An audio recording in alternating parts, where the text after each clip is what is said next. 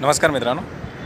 मित्रांनो आत्ता जे बजेट आलेलं आहे आणि या बजेटमध्ये एक शेतकऱ्यासाठी खूपच आनंदाची अशी बातमी आलेली आहे. आणि ती म्हणजे कुसुम योजनेच्या इम्प्लिमेंट इम्प्लिटेशनबद्दल आपण पाहू शकतो या ठिकाणी आता शेतकऱ्यांना वीस लाख पंप सौर विद्युत पंप देण्याचं या ठिकाणी उद्दिष्ट दिलेलं आहे. आणि याचबरोबर आपल्या जे काही ग्रीड आहे याबरोबर जी शिल्लक राहिलेली ग्रीड सरकारला देण्यासाठी एक याच्यात तरतूद केलेली आहे. तर आपण हे पाहू शकतो जे पॅनल लागलेले आहेत आपल्या पाठीमागं. तर याच्यात आपल्या महाराष्ट्रापूर्वीच इतर राजस्थान गुजरात किंवा इतर राज्यात कुसुम प्रभावीपणे चालू आहे. आणि याच्यामध्ये आपल्याला जेवढी विद्युत पाहिजे त्याच्यापेक्षा जास्तीचं उत्पन्न करूनसुद्धा या ठिकाणी आपण पाहू शकतो इन्व्हर्टर लागलेले आहेत. आणि याच्या मा माध्यमातून विद्युत पुरवठा ई बीला केला जातो. जेणेकरून आपल्याकडं शिल्लक असलेला विद्युत पुरवठा हा ग्रीड कनेक्टेड असल्यामुळं याच्या माध्यमातून जो शिल्लक विद्युत पुरवठा आहे हा शिल्लक विद्युत पुरवठा ई बीला परत दिला जातो. आणि त्याच्या बदल्यात जे काही युनिटचा रेट आहे या युनिट रेटनुसार आपल्याला त्याचं पेमेंट मिळतं. म्हणजे यातून आपण आपल्या विद्युत खर्चही आपण भागू शकतो.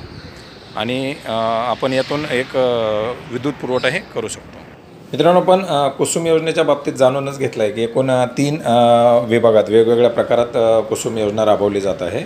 आणि याच्यातील पहिला प्रकार म्हणजे आपण जे मुख्यमंत्री सौर पंप किंवा अटल सौर पंपसारखा आपण जे कृषी विद्युत कृषी सोलर पंप आहेत हे या ठिकाणी बसवू शकतो. त्याचप्रमाणे हे जे ग्रीड कनेक्टेड सोलर पंप आहेत याच्यामध्ये आपण आपल्या जे सिंचन आहे हे सिंचन करून जे अतिरिक्त वीज निर्मिती होईल ही वीज निर्मिती ग्रीड कनेक्टेड सोलर पंप असल्यामुळे याच्यातून होणारा विद्युत निर्मिती जी आहे ती आपण ई बीला देऊ शकतो. अशा प्रकारचा हा सोलर प्लॅन्ट इथं आहे.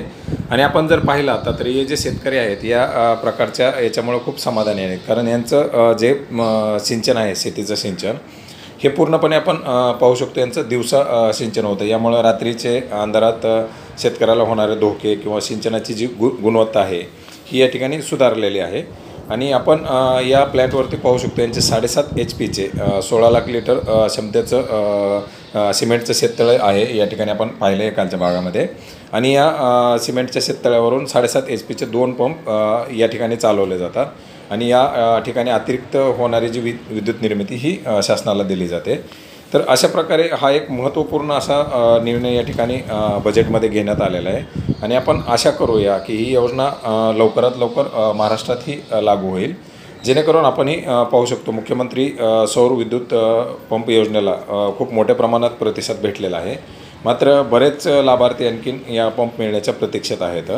तर अशा प्रकारचं एक सिंचनासाठी एक जर उत्तम प्रकारची जर सोय या ठिकाणी निर्माण झाली तर शेतकरी आपल्या शेतातून आपल्या जमिनीमधून जे उत्पन्न आहे हमखास या ठिकाणी उत्पन्नात वाढ करू शकतो आणि एक उत्कृष्ट प्रकारचं सिंचनही या ठिकाणी करू शकतो.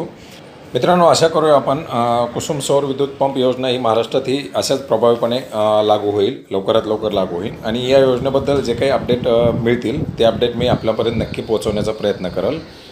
धन्यवाद.